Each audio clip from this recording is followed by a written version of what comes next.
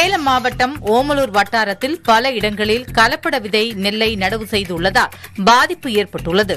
கலப்படம் இல்லாத விதை நெல்லை உற்பத்தி செய்ய வேளாண்மைத்துறை அதிகாரிகள் நடவடிக்கைகள் எடுத்து வருகின்றனர். சேலம் மாவட்டம் ஓமலூர் காடையம்பட்டி தாரமங்கலம் வட்டாரத்தில் சில நூறு ஏக்கர் பரப்பளவில் இரண்டாம் போக நெல் சாகுபடி செய்யப்பட்டுள்ளது. இவற்றில் வெள்ளை பொன்னி கோ ஐம்பத்தி ஒன்று அம்மன் ஆகிய நெல் ரகங்கள் சாகுபடி செய்யப்பட்டுள்ளன. பல்வேறு வயல்களில் வெவ்வேறு ரக நெல்மணிகள் கலந்த கலப்பட விதைகளின் நாற்றுகள் நடவு செய்யப்பட்டுள்ளதாக புகார் எழுந்துள்ளது. அதனால் வயலில் ஆங்காங்கே நெற்பயிர்களில் பூக்கள் பூத்தும் ஆங்காங்கே நெற்பயிர்கள் பாதி வளர்ச்சியுடனும் காணப்படுகின்றன. விதை நெல்லில் கலப்படத்தை தடுத்து தரமான விதை நெல் உற்பத்தியை மேம்படுத்த வேளாண்மைத்துறை அதிகாரிகள் தொடர் நடவடிக்கைகளை எடுத்து வருகின்றனர். விதை நெல் உற்பத்தி வயலில் இன தூய்மையை பாதுகாப்பது சவாலாக உள்ளது என அதிகாரிகள் தெரிவிக்கின்றனர்.